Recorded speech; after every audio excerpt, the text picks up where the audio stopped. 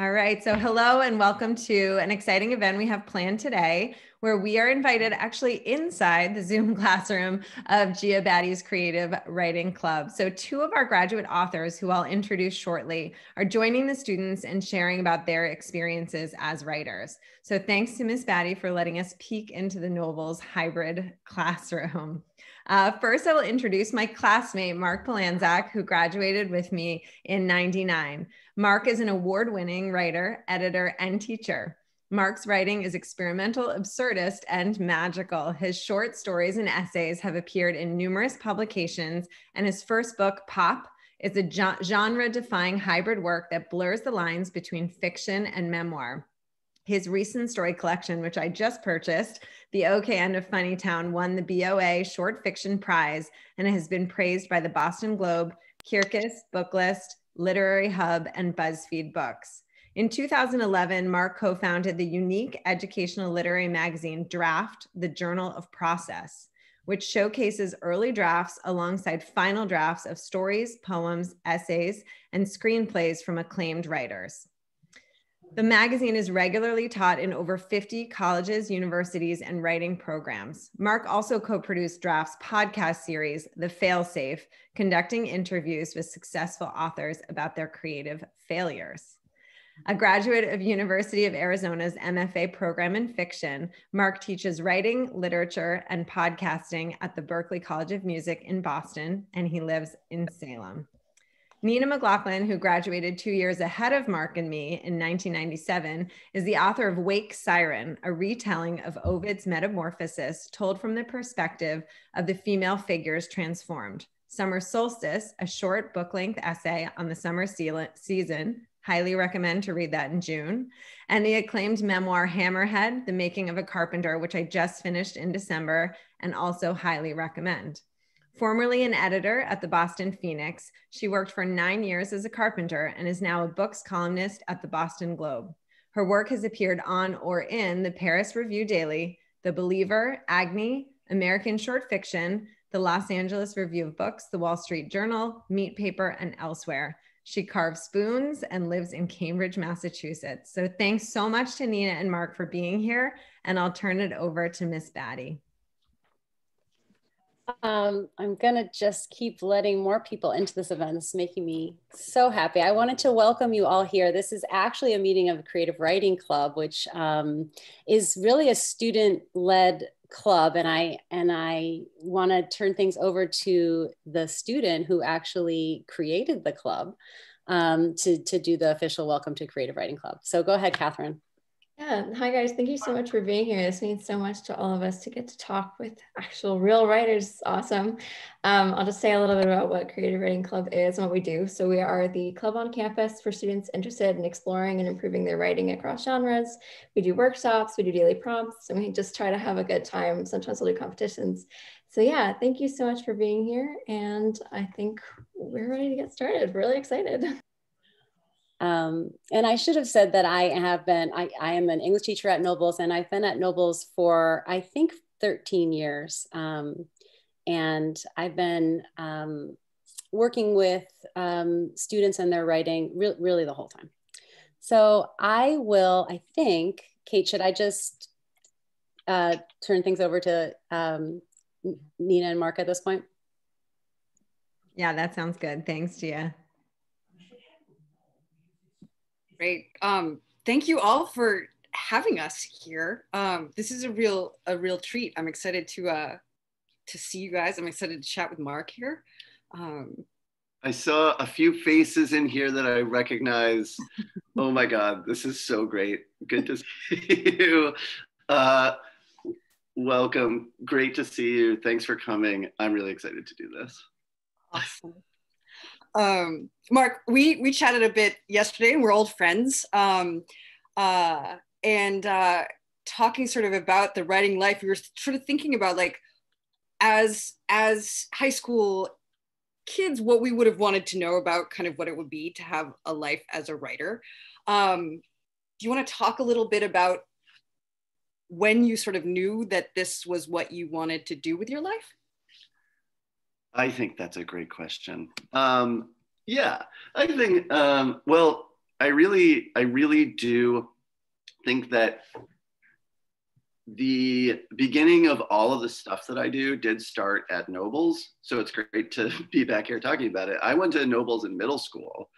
Um, and I remember that there was um, a drama class with Eden Smith that I took, and there were plays that you could do, and there were after school projects you could do. And one of the things that we did in the drama class was that we wrote a script and then filmed it. And it was the most exciting thing to see other people like reading your work and then it's showing up somewhere.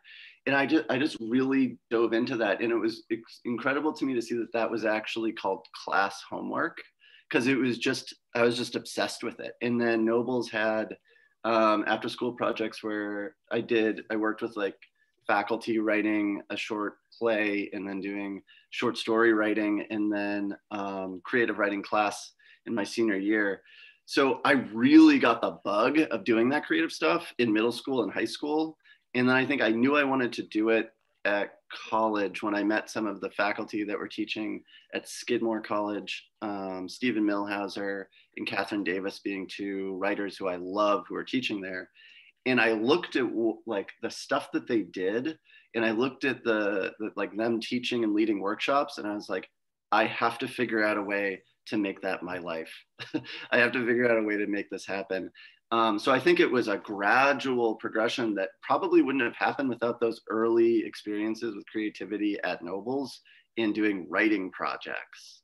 Um, but definitely like at college, senior year, I was applying to MFA programs. So by the time I was done with college, I was like, I just got to keep doing this. What about you, Nina? um, I guess in some ways similarly, I I knew I wanted to write um well actually maybe earlier. I guess it was like it was when I was a kid, I was in third grade and I actually remember the moment we had had we had to write um small books and I wrote a book about a giant. Um, and I kept using the word big, you know, giant. And uh, and my teacher came over to me with the, the thesaurus and was like, wow, Nina, like you can use many other words. For example, immense. And I remember just sort of like lighting up, sort of thinking, oh my gosh, wow, language is amazing, storytelling is amazing. And it was sort of like that moment, uh, sort of like what you were saying, like, this is what I want to do. Um, and so, similarly, had a lot of great experiences at Nobles, had some really fantastic teachers, had some really, I feel like I really learned how to write uh, at Nobles. Um, in college, I studied English and classics um, at the University of Pennsylvania. Um, and then right after college, got a job at this newspaper. And so um, it was sort of, yeah, I mean, it was, it was, it was that sort of drive similarly maybe to you, Mark, of just like, this is, this is the way I want the shape of my life to be. Yeah.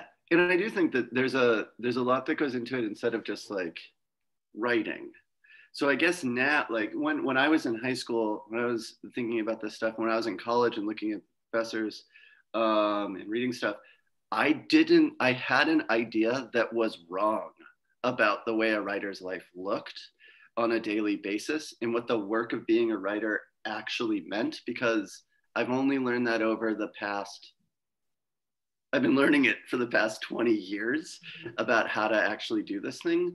Um, what are you doing day to day? Like, how do you decide on your projects? And then when you have your writing projects, how are you working on them? How much time? What does it look like for you sure. on your daily basis? Yeah, I mean, it, it really, it varies day to day. I have this Globe column that I write every week. So that's sort of like the, every Friday I write this column. So that's the one sort of structured thing that I have. Um, right now I'm sort of in the beginning stages of two other bigger, longer book projects. Um, and so right now it's this sort of like i find kind of frustrating and agitating stage of it's a lot of thinking work um, and so a lot of the work for me right now is honestly just sort of staring at walls and occasionally taking notes um, and the way that i sort of have uh, tried to think about i mean you know writing it's sort of how i orient all of my life around so it's like every walk that I take or every run that I go on, it's sort of like, how is this feeding the work? Um, so a lot of it right now is quiet. When I'm actually in a project, um, I try to work every day. Um, even if it's just for like an hour, you know, if it's like a Sunday afternoon, like it's just like to touch the project every day feels very important to me. Um, but there will be months where I won't write really at all for real. Um, uh, but it's it's it's quiet. Sometimes it's very frustrating. Um, uh, and it's also like I feel so lucky that I get to do this. You know, I mean, it's it's also the most sort of deeply satisfying and rewarding life I can imagine. How about you? I mean, like, what you have a much more sort of active professional life. I teach, yeah. So um, a lot of my daily life as a writer is spent doing teaching. Um, but I do think that a lot of it uh, works together. There's, as you said, if if you're really into something creative, I think there's probably I I work with musicians at Berklee, and there's a lot of like faculty musicians um, and student musicians, obviously. And I think that if you're like in the creative arts professionally in any way, it sort of works with every facet of your life. And I think that the walks you're talking about definitely, if you're in the middle of a project, uh, in even like teaching, the conversations in classrooms start to take on new meaning. Like you, you start picking up and making connections everywhere. Um, there's a little bit of like mania involved with that, I think. Um, but I do uh, set aside certain times of the year where it's an everyday thing. So teaching, you get uh, certain like weeks off, vacation time, and I can plan to hit the ground running when those times pop up and set to a daily schedule. And I am someone who just, I cannot wait for inspiration um, because it's so, I can destroy any of my ideas so quickly that if I waited around for that one thing to come, the next day I would say that's garbage. So working every single day diligently on a project and getting through the days where you say this is garbage is part of the work of it. There are there's like a ratio of the days that are transcendently joyful when you discover something in writing that propel you through a much uh, bigger amount, a much larger amount of days, number of days that are filled with doubt. So it's a lot. It doesn't look great, you know when you're sitting there, if someone were to have a camera on me while I'm writing every single day, I think that occasionally, occasionally I'd be like, ooh.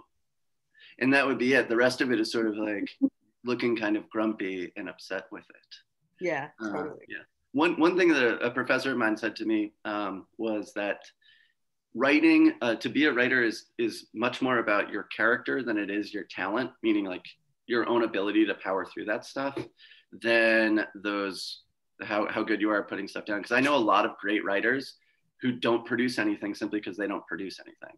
And I think there's that that like being able to quiet that little demon voice that sits on your shoulder and is like, this sucks, this is garbage, you're so dumb, you're so bad. Those those demon voices, I think they'll always be there. And and the work of trying to sort of say, like, okay, yeah, gotcha, and like continuing on, that to me has been in some ways one of the most important and maybe what you're sort of saying about the character just being able to sort of say the character behind it being able to say like yes i hear you and like i'm just going to ignore it you know um, and i think also in terms of the the sort of dailiness of it for example like as i just said this sort of thinking mode right now um, which can be sort of agitating because it's not producing, I sort of gave myself this daily task of, all right, every day I'm going to write a thousand words about the Charles River, which is sort of right in my front yard.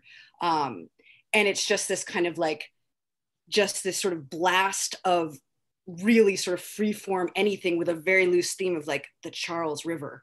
Um, and it's with the hope that, you know, within the sort of accumulation there will be nuggets or kernels that I can use and apply down the line. Um, and so that has been a very useful practice for me in terms of just paying attention and getting the mind, those muscles working, um, those muscles of attention and, and putting words together. Um, oh, go, sorry, go ahead, Mark. Yeah, I was going to say I I write really fast when I do write, and I I produce a lot of content that I just, but I do it in a very free way because I know it's I'm going to delete it. I know that I'm gonna rework it or edit it, but I have to I have to get a bunch of material there in order to cut it down by like 90% to the the the stuff that you're talking about.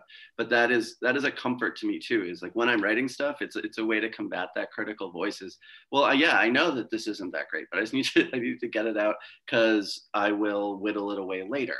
I'm mm-hmm. not saying that this is great right now. It's a it's a process mm-hmm. um, but it does look like when you read something amazing that someone just sort of like speaks into the printing press mm-hmm. uh, and that they just have the talent and whatever in i mean there's different degrees of talent and different uh, amounts of like work ethic that people have um, who is the the person the writer the stories that you go to um, or the people that like influenced you. Let's get let, let's hear about your influences nina. Yeah sure of course. Um, uh, so i i i had some at, at nobles i you know i i took Latin and took the sort of Greek and Roman civ courses and was really into the, the classics and ended up double majoring in classics.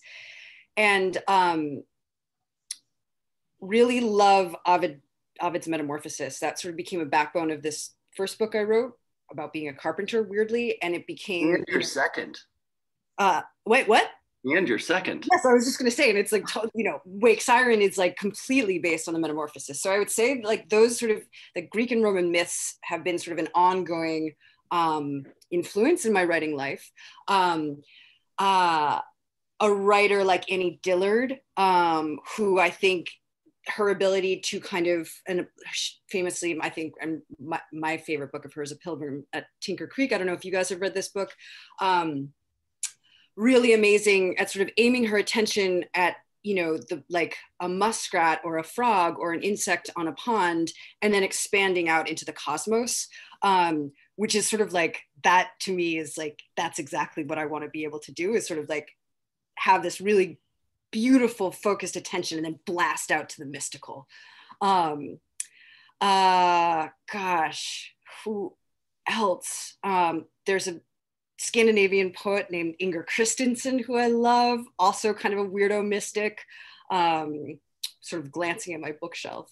Um, you know, I really like Moby Dick, classic book. Um, how about you, Mark? Where's some of your influences? Gandhi, Shakespeare, Mother Teresa. Um, these are these are the people that guide me. You seem to be focusing more on writers. Uh, you know, life is life is more than that. Um, I think I think that really short stories were the thing that made me super interested in writing. Nobles had a good short story class, and uh, we I remember thinking like about English. Um, I loved reading and I loved the English classes, but it seemed like it was going to take a long time to understand writers if they, we had to read all these novels. And then we took the short story class, and I realized that all these novelists that we were reading in another class also wrote short stories. And I was like, ooh, well, I could get I could get a really amazing experience of this person's writing in short form. And that really set my mind on fire. And I kept on reading short stories and reading short stories. And then we had to emulate them. So, short stories for me are like my first love of literature. And I keep reading short stories and writing short stories. Um, and I would say that like the short story writers that made me think like, oh my God, there's something amazing going on here are um, people like Denis Johnson, who wrote Jesus's Son. I don't know if this this ever comes up in classes. It's a great book that was also made into a movie, a collection of stories. Um, I read um, Italo Calvino. Um, I read uh, Kafka, like Kafka stories. The weirdos, the weirdos really sort of made me think that there was something else going on here. Steven Millhauser, who I who taught at Skidmore, and I had American magical realist, like nothing that happens in there is possible in Murakami. So like when when stuff started to get like super strange and it wasn't part of the real world, but it was adult literary fiction I thought, oh my God, there's a whole new dimension available in this. And then I wanted to try and go do it. Um, Mark, I like. I feel like you have gone and done it. You know, I mean, your your work to me is sort of American American weird, American weird. Um, uh, and and I think that uh, one thing that's really compelling to me about your work is that there's in the in the short fiction they are sort of fantastical and bizarre, man, and funny. Um, and you also you also blend fiction and nonfiction in a really a way that's very compelling and exciting to me. And I guess I would love to hear a little bit about the differences in the forms for you. Um, what what lights you up about each? What the hard part harder parts are? What the easier parts are? Um, yeah, there's um, the I when I did my grad school, it was all fiction, and all I wrote was fiction. And then when I left grad school, I wound up writing a memoir that was mixed genre with like nonfiction from my real life. Um, the death of my father in when I was 17 um, wound up being like the subject matter of this book, but it's mixed with fiction. Uh, because I think that sort of my life was mixed between reality and fiction. I was just concentrating on writing fiction, and these were weird worlds and also the real stuff of life keeps on wanting attention occasionally i do think that writers artists of any type are sort of like wounded in a way that they're always healing. Um, and for me it was to write fiction and sort of get away from it. And then all of a sudden i had to write this real stuff. So i found it incredibly exciting and it almost seemed transgressive to write about my own life. Um, that was new. So writing fiction can be really exciting, but there's a certain protective layer over it where whatever you write about, you can hide behind this uh, word fiction and say like that didn't happen, or you can't read into my life because of this. This is I'm making this up, even when things are so strikingly similar to your own life. As soon as you put the word nonfiction or memoir or essay on a piece, you have to announce like this is me these this was an episode and this is how i feel um, and i do think that that was really exciting and it felt like brand new territory to get into i'm not a memoirist i'm not good at nonfiction or i don't i don't gravitate toward it but it was like a transgressive act for me um, i do think that for me i'm a little bit more open and honest in fiction than i am in nonfiction simply because of that protective distance that you get. Like I can say stuff in fiction that if I said in nonfiction, I would get called out for, you know, by people in my life. Um, and, you know, that sort of happened with my book. Um, but I had to show it to everybody and get their approval. And you've done the same thing. You work in multiple forms, but much more consistently. I did a sort of like mash up crazy thing, but you have worked like purposefully in fiction, in essay form, in a memoir, and how all these things inform each other? Yeah, I mean, it's interesting. I, it's it's a little bit different for me. I found writing fiction than what you were saying. For me, I had written a book about my own life, you know, like my actual own very life.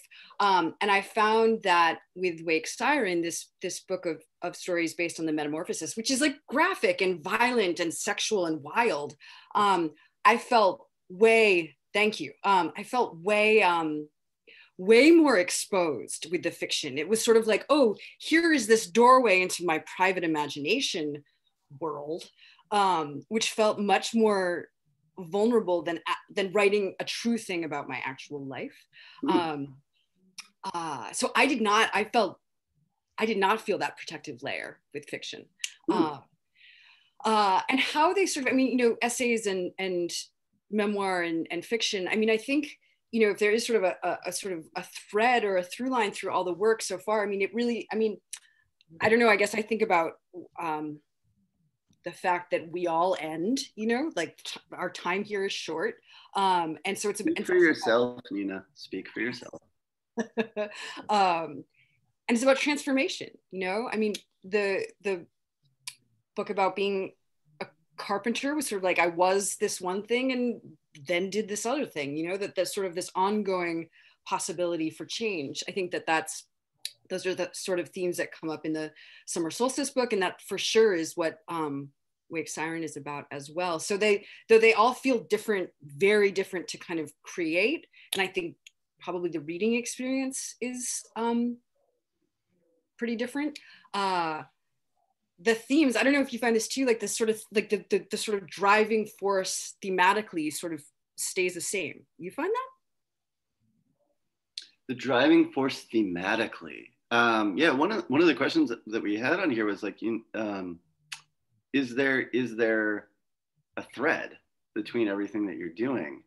Um i think that through everything that i've written there's been a goal, a more abstract goal of sort of understanding what the hell is going on with everything that I do. And I under I think that I only know things or understand what the hell's going on if I write about it, whether it's in a story or in my journal or something like that, or just taking notes. Like I need to see it on the page and like put language to it in many different ways to comprehend what is going on around me or in my life. So I think that with each project, my goal is to grapple with something and understand it better.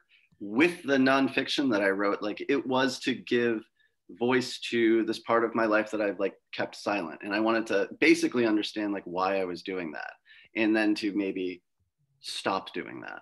Mm-hmm. Uh, with each of the like the short stories, there's a there's something that I'm grappling with and I try to invent a way to examine it from another angle instead of just my regular old Mark Polanzak doing this thing every single day. I'll invent a character or a situation or a setting or a phenomenon that it doesn't really exist and then look at it. So it's a way to get new perspective every single time. I don't think that I have like one subject matter. I think for a while it was like grief and loss, and I didn't know that uh, until I looked back at my stories after a while and then wrote something new. Mm-hmm. I think I, I, I wonder, I've got more questions here. How much time do we actually have? I was just gonna say, maybe we, I don't know if the, if the if kids have questions. Yeah, if anybody else has questions, I mean, I could ask Nina questions all day, but I can do that anytime I want. um, I think it would be great if um, especially if students have questions, they can just put it in the chat. I think that might be easier. Um, and then we can kind of take a look at them. Um, so, so that would be great. And then um, if anybody feels, while we're waiting to see if any questions come in the chat, if you uh, wanted to unmute yourself and ask a question, that would be great too. Yeah, I mean, Alden Mock, if you have anything that you would like to know about literature. Um, in, the, in the meantime, I, I think one of the questions that um, has come up, um, I, I, teach a class at Nobles called, it's an independent course. It's um, a novel writing course. And so we have um, six students at Nobles that are signed up for the class and working on their novels. And I know something that might be really good for them to hear from you is sort of how did you talk to your parents about becoming writers? And was that um, a hard conversation? Um, and maybe you can talk a little bit about that.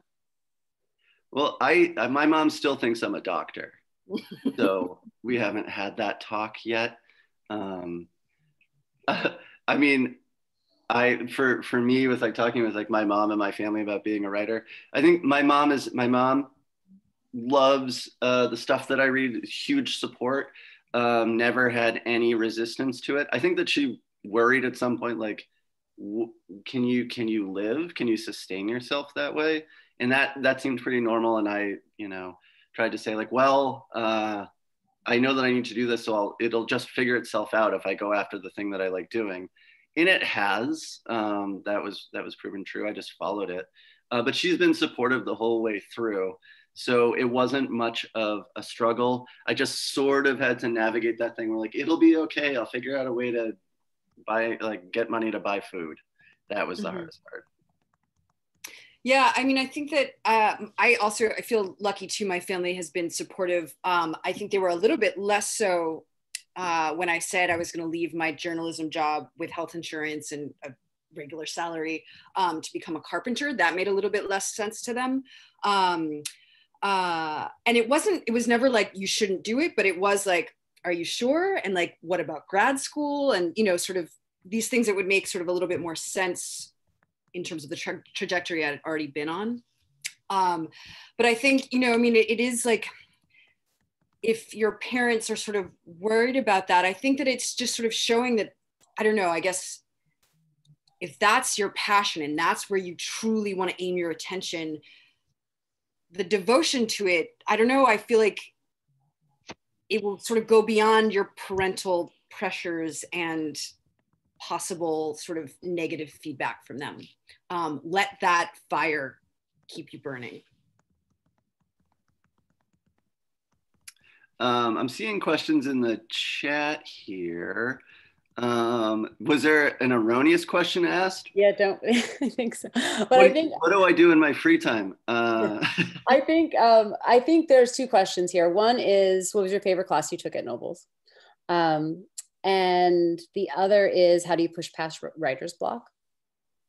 Ah, I, am going to jump in with the writer's block question. I I um I don't believe in it. I think that it's like it's I think that's bull. Um, and you just have to keep writing. I mean, it's sort of what I was saying, what Mark, Mark and I were both saying, like, you cannot wait for inspiration. That's that's hogwash, man. Like you've just got to keep doing the work. And it is like sitting down when it just feels horrible and you feel like everything you're writing is coming out mud, your brain feels flat. It's just like, why are you doing this? Like that's that's what that's to me is like when you become a writer.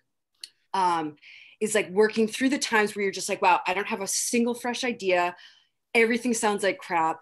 Um, you just keep going. You have to keep going because you could write 500 words in a day. You could write two paragraphs, and like maybe maybe there'll be a phrase that lights up the next day, and you think like, okay, yesterday sucked. Like there's that one phrase, and that'll take you into a, an entirely different direction. So um, yeah, writer's block, no such thing, according to me. I like uh, I like that. I think I think that you can always write something. I think that uh, writer's block. Just I, I totally agree with everything that Nina just said. One thing I would add to it is that I do I do certain like prompts and exercises on those days where it just feels like wow, like you have nothing to say, buddy, uh, and this is not coming out right. I do this with my classes. You do it in your creative writing group. I'm sure you said that you give out prompts and writing exercises. I will do that stuff just to keep writing, just to like get that stuff out. And I do think that those those days are still productive because it winds up getting rid of the the, the getting out some of the things that are in the way of the ideas that are still coming through like the pipeline. Um, eventually, I think inspiration does strike, but it, it to me it only happens while I'm writing. Like I'm I'm never like in the shower and like. Ah, story idea. Like I'm in the middle of a story already, and then I get this thing that pops up. I'm like, oh, a word that I wasn't even planning on writing winds up making sense to me, and now I know where the story's supposed to go. Those are the cool moments. Uh, but sometimes it takes like doing the thing of like a free write, just saying like I'm gonna write garbage for 10 minutes, and writer's block will disappear if you just think of writing as writing anything mm-hmm. instead of writing something good. Mm-hmm. Yeah. Uh, favorite class at Nobles though? Uh, there are a lot of great. I loved my creative writing class with Vicki Seelan uh, and Lily King. I loved the independent study with Mr. Mock and some of my friends. Um, and Sandy McQuinn's short story class was amazing. That's where I read all those short stories, and I absolutely loved it yeah I, I that short, sorry that short story class still exists. It is a senior elective still and i think there are some students here that are currently taking it. Amazing class. Yeah that's what i was going to say too was with uh, a different teacher. It was a woman named Ash- ashley massey.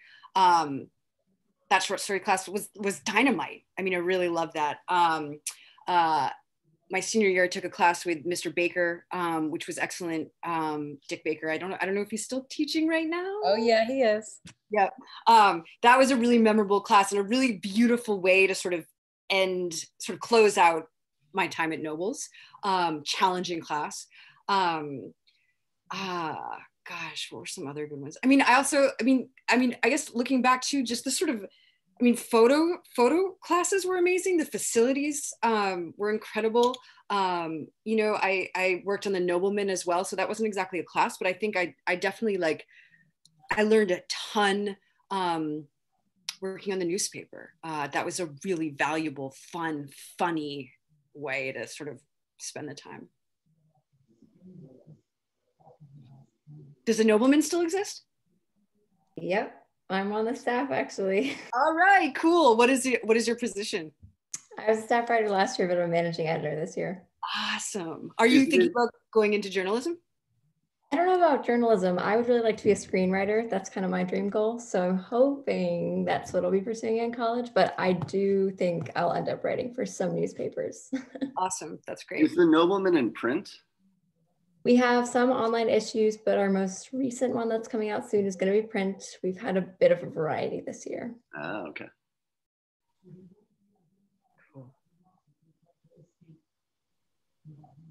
Um, any other um, questions from anyone? And then I think I'll turn it over to Kate to see if you want to. Um...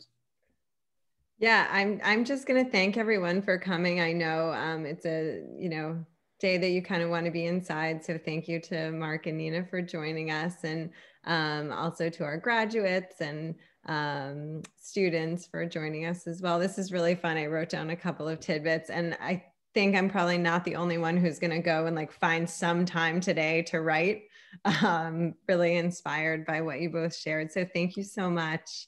Um, fantastic. All right, Gia. Well, I will close it out. I think the students have to get to their next activity. And Mark and Nina, thank you so much. This was really thank great. Thank you guys. Thank you. This was Such so much fun. Really, really good.